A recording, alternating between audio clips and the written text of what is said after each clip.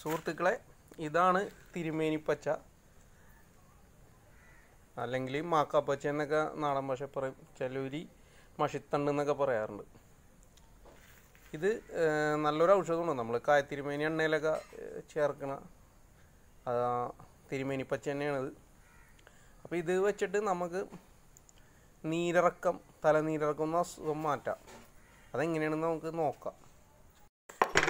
ഇങ്ങനെ നല്ലപോലെ ചതക്കുക നല്ലപോലെ ചതച്ചതിന് ശേഷം ഇത് സമൂലം തന്നെയാണ് ചതക്കണത്. അതിന് ശേഷം ഇത് ഇങ്ങനെ പിഴിഞ്ഞു കഴിഞ്ഞാൽ നീരിടും.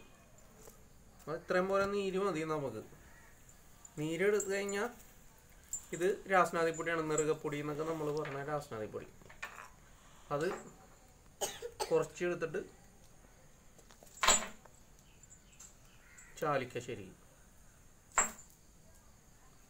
നല്ലപോലെ ചാലിക്കാം. നല്ലപോലെ ചാലിച്ചതിന് ശേഷം ഇത് ചൂടാക്കണം. ഇങ്ങനെ പതുക്കെ ചൂടാക്കിയാൽ മതി.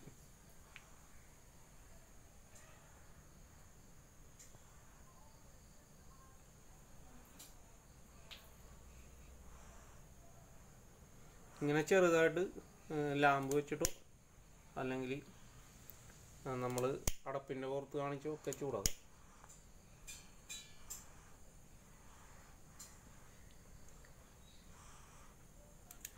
ഇപ്പം ഇങ്ങനെ ഇത് അത്യാവശ്യം ചൂടായി. ചെറിയ ചൂടിൽ ചെറിയ ചൂടിൽ ഇങ്ങനെ നമ്മൾ നെറുകയിൽ ഇങ്ങനെ തേച്ച് കൊടുക്കണം. ഇടക്കിടക്ക് തോര തോരത്തോര ഇങ്ങനെ തേച്ച് കൊടുക്കണം. തേച്ച് കൊടുത്താൽ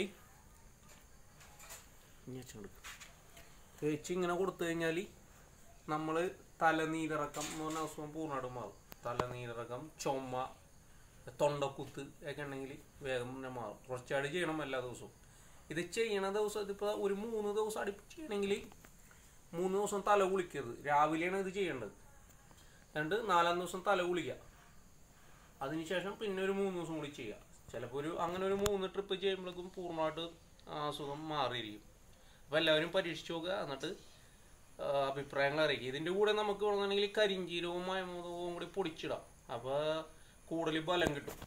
കേട്ടോ. അപ്പോൾ എല്ലാവരും അറിയിക്കുക നന്ദി നമസ്കാരം.